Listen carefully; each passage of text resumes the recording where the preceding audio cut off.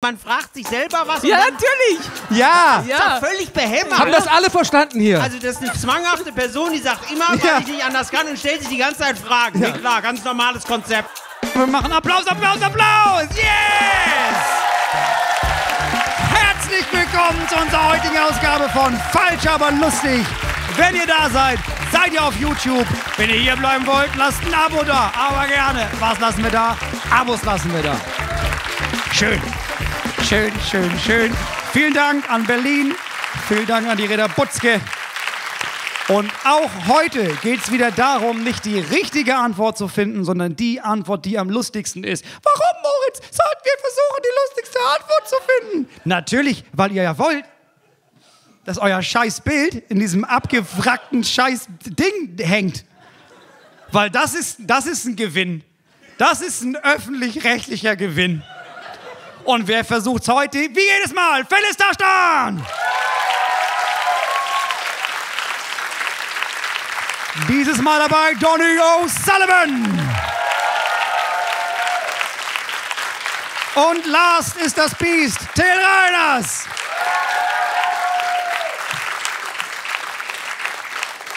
Und damit kommen wir zu unserem ersten Spiel. Das heißt, wie war nochmal die Frage? Ich werde euch jetzt Antworten nennen und ihr sagt mir dann, wie war nochmal die Frage zu dieser Antwort? Till, wie ist die Frage zu der Antwort? Weil ich nicht anders kann. Donny, warum benutzt du zum Zählen die Finger? Das ist er. Donny, weil ich nicht anders kann. Wie war nochmal die Frage? Wieso hast du so oft Sex mit Till Reiners Mutter? Weil ich nicht anders kann. Das ist keine Frage, die du so beantworten solltest. Phyllis, was ist die Frage? Äh, warum mache ich Urlaub in Cottbus? Weil ich nicht anders kann. Ja. Till, wie war nochmal die Frage? Äh, Phyllis, warum riechst du an deinen Fürzen?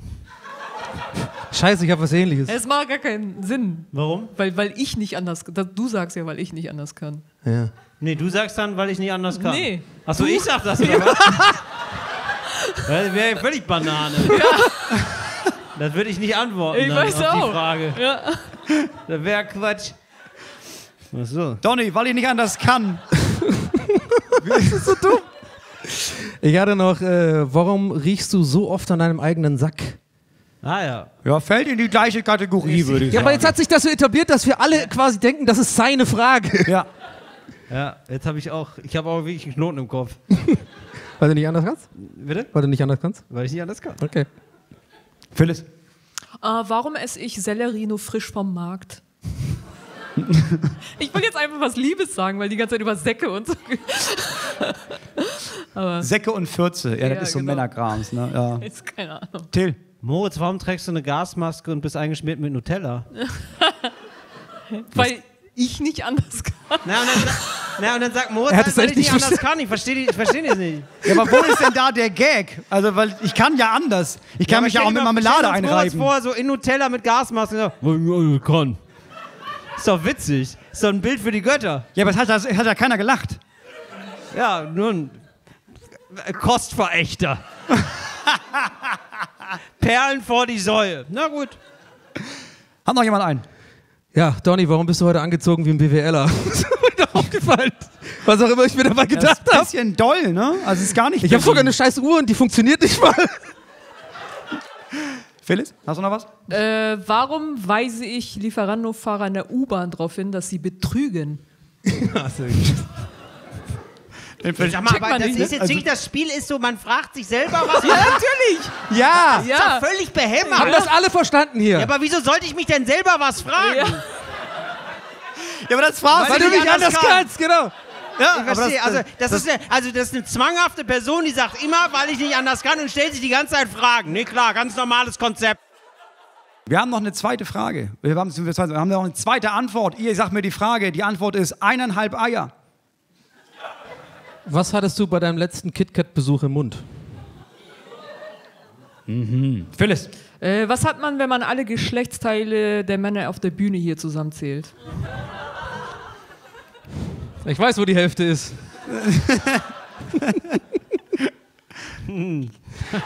Hast du gesehen? Ich hab's umgedreht, ne? Ich hab's umgedreht. Ja, Mann, der haben jetzt gezeigt. Ja, Mann. Die dachten alle, weißt du? Ja, ja. Till, Was ist besser als ein Ei? Und ich habe auch so einen ähnlichen. Ja, weil ich habe gedacht, das haben wir was Nettes hier, nicht immer nur so ekel, Ja, ekel. ich habe auch so einen ähnlichen. Ähm, wenn du vier Eier hast und zweieinhalb fallen dir runter, wie viele Eier hast du dann noch übrig? Genau. anderthalb Eier, wie ist die Frage? Wie Moritz das mittlerweile sagt, alle dabei, wie ist die Frage? Wie, also als wäre das so ein Code. Wie ist die Frage? Du kommst hier nicht rein. Wie viel Kaviar kann ich mir von der Gage hier leisten? Das Vielleicht. kommt ungefähr hin. Till, Aber das ist anderthalb, auch manchmal das Codewort für Code. Okay, niemand. Gut. Okay. Wo sind die Leute aus dem Berghain? im Berghain. Ja. Stimmt, schon wieder Dienstag. Ne? Till, die Antwort ist eineinhalb Eier. Äh, wenn man einen Gebrauchtwagenhändler fragt, was kostet der Opel Corsa? Ja, anderthalb Eier. Ja. Wie lange ist dein. Oh, sorry? Achso, Entschuldigung. Ich Bitte. Wollt, nee, ich wollte es wieder erklären. Mir- ich weiß- Nee, mach mal. Ich, jetzt bin ich aber gespannt.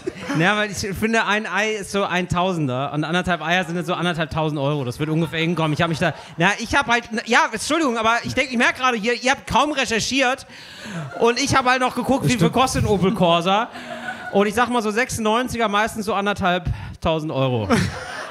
Ne, Nach Schlacke BAT oder wie das da heißt. Nach Schlacke BAT. Nach Schlacke BAT. Ja. Ja.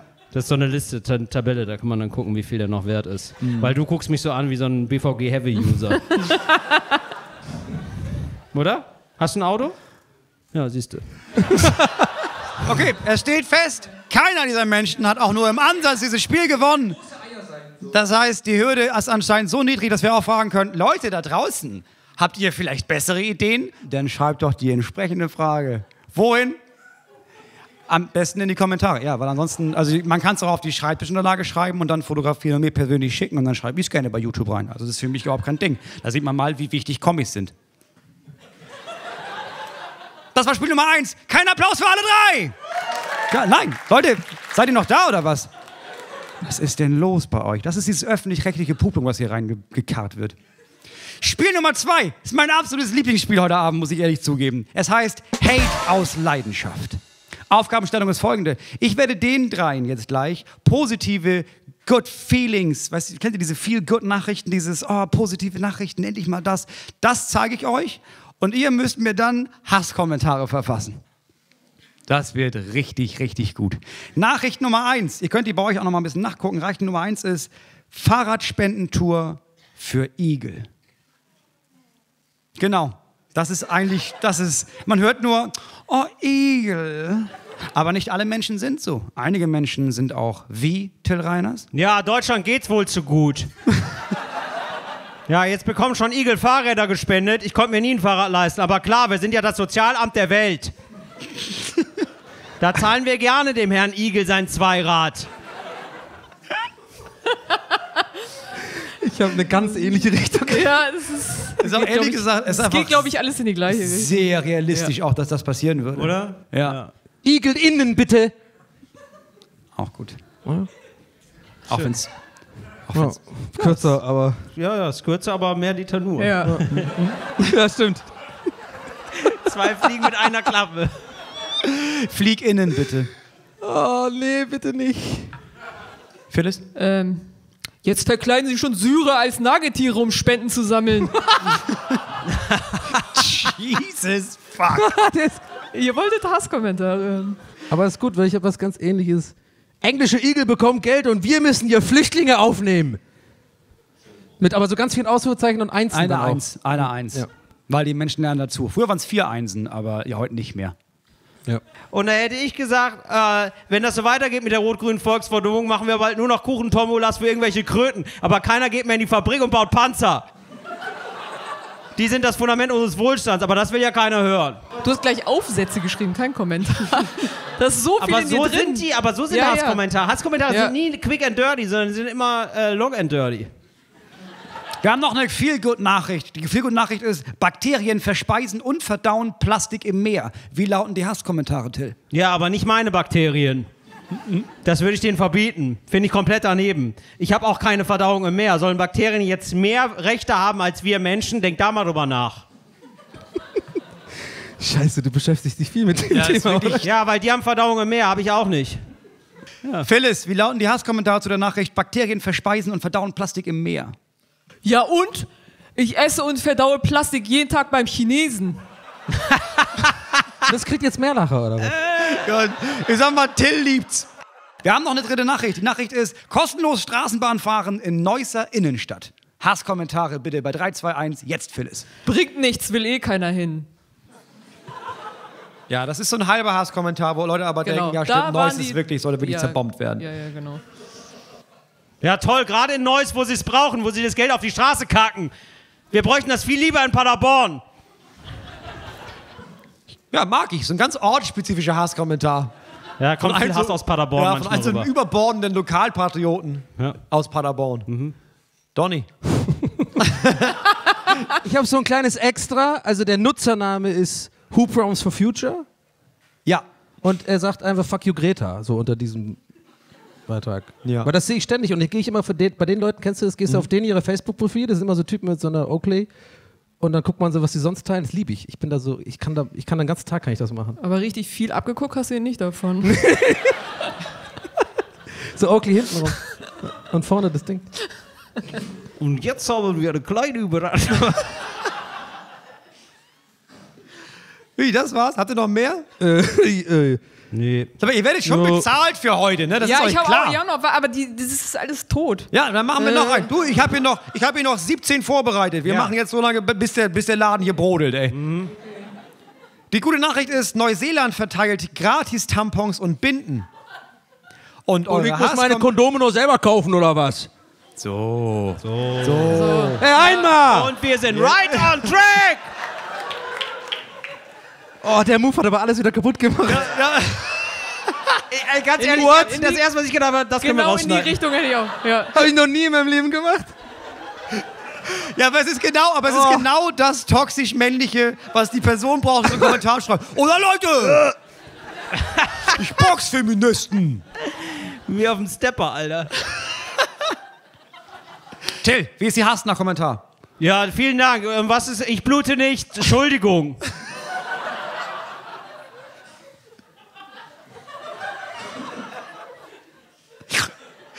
Der, das geht so. Es geht so. Das ist mit das Dümmste, was ich jemals Entschuldigung, dass ich nicht blute. Krieg ich auch was umsonst? Ein Grill oder so? Phyllis, wie lautet Äh, der Hasskommentar? Warte mal. Äh, und was kriegen wir Männer gratis? Endlich gut gelaunte Frauen? Sauer! Nailed it! Das war wirklich toxisch männlicher als die meisten Männer, die ich so, kenne. Sehr, sehr du gut. kannst so gut für Männerzeitungen schreiben, Alter. Ja. Das ist so geil. so- Incel-Blog einfach. Ich bin ein Mann und rassistisch. Das ist das Geilste. In dieser. Ich habe noch eins sogar. Natürlich hast du das. Die brauchen keine Dra gratis Tampons, die brauchen gratis Kochkurs. ich war da voll drin. Mach weiter, mach Nein, weiter. nein. Das machen wir alles, das laden wir so hoch. Cool, eine neue Folge Herr der Binden. Das ist doch gut. Also Schaut nach Osten am fünften Tag des Morgens. Oder dritter Tag, jetzt kommen die ganzen Nerds. Naja, aber Galandriel hat ja gesagt, dass man. Irgendeiner in den Kommentaren ist da. Naja, fünfter Tag des Ostens kann ja gar nicht sein. Ist eigentlich fünfter. Teil, ne? Gandalf hieß Ja. ja früher ganz anders. Ich meine, das war ja der elfte. Ich hätte auch noch einen dazu. Gandalf hieß ja früher ganz anders. Ja, irgendwie so ein Scheiß wie Galandriel oder so ein Scheiß. Oder, Echt? Äh, ja, ist ja mega interessant. Smirnov. Ey, ganz ehrlich, Ja. mich holt das hier gerade ab. Der heißt, der heißt auf Elbe, wer weiß, auf Elbisch heißt der anders. Ich hätte einen noch gehabt mit den Tampons, Ja. wenn ich darf. Ja, klar. Ähm, also was bescheuertes, ey, Tampons kann man einfach, ganz einfach selber herstellen. Stimmt. Aus Watte. Lachs. Ja. Warte. Warte. Zum Beispiel. Ja, ja, sind wir ganz ehrlich, auch, in, auch, auch das zweite Spiel hat ehrlich gesagt niemand von euch gewonnen. Deswegen geht es nun darum, wer das dritte Spiel mit einem einzigen Punkt den, den ganzen Abend hier gewinnen kann. Yes! Ich habe das mit der, mit der, äh, Das heißt, wir sind alle mit der oder? letzten Tamponfrage, die war doch gut. Ja, ich fand auch, Phyllis hat da ganz schön abgeräumt. Verlies fand ich auch. Das ist hier kein. Phyllis! Ja, Moritz! Gegen Moritz! Phyllis! Phyllis! Wer ist dafür, den Moderator auszutauschen gegen Phyllis? Ich wollte mich, ich habe mich ein bisschen tragen lassen, sorry Moritz. Spaß. Genau, ja, und so hat es angefangen. Und zack, morgen sind wir in Danzig. Wegen solchen Leuten wie dir. Moritz, äh, Satire kennt keine Grenzen. Auch nicht die Oder-Neißer Grenze. Was denn? Der war. Also, naja, gut. Ja, du, ab dem Punkt nehmen wir, was wir kriegen können. Spiel Nummer drei heißt, wann war das nochmal? So, funktioniert so. Ich ordne gleich jeweils ein fiktives Zitat euch zu. Ne? Jeder von euch bekommt ein. F- Also, ist ein bisschen komplizierter, ihr müsst jetzt aufpassen. Ist schon sehr spät, ne? Aber ich werde jetzt gleich Till ein Zitat zuordnen.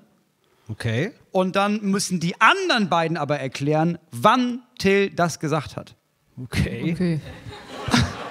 Aber ich bin ja dann erstmal fein raus, weil ich muss erstmal gar nichts sagen, ne? Ich sag erstmal gar nichts. An der Stelle. Okay. Ihr, Mucksmäuschenstelle. das ist wirklich, es, es fühlt sich hier wirklich langsam an wie Zivildienst, ey. Das ist wirklich. Quiet. Also Leute, alle anderen auf der Bühne. Wann hat Till gesagt, 500.000 sollten genug sein? Was für eine Situation war das? Als Till sagte, 500.000 sollten genug sein. Als man ihn gefragt hat, wie viele Tampons Frauen gratis kriegen sollten. Als Till gestern mit seinem Management telefoniert hat und äh, sie ihn gefragt haben, wie viel Gage er für heute haben bek bekommen soll. Till, aber an dich mal die Frage, wann hat Phyllis gesagt, das Ausmaß der Zerstörung hat mich überrascht? Das sagt sie jedes Mal, wenn sie kacken geht. Ja, tief hängende Früchte sind immer noch Früchte. Mein Gott. Klar. Donny, auch eine Idee. Ähm, als sie gestern Abend von ihrem letzten Clubbesuch erzählt hat und davor gesagt hat, ich bin reingekommen und habe den Swag extrem aufgedreht. Darf ich auflösen? Ja. Das war, als Phyllis dein Haus gesehen hat.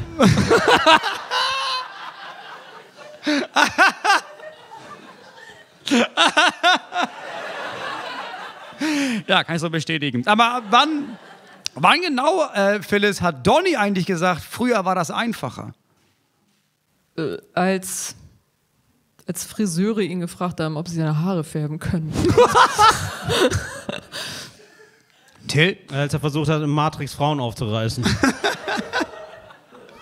Das stimmt tatsächlich. Das war's für heute, meine Damen und Herren. Gewonnen hat der Bilderrahmen. Toll, freuen wir uns. Großen Applaus nochmal für das Fritz-Logo. Wir rasten aus. Das war's für heute mit Falsch, aber lustig. Schön, dass ihr dabei wart. Schaltet doch nächstes Mal wieder ein. Wenn euch das hier gefallen hat, findet ihr hier und natürlich auch da weitere Videos. Schreibt in die Kommentare, denkt an die Glocke und lasst uns ein verficktes Abo da. Moritz Neumann!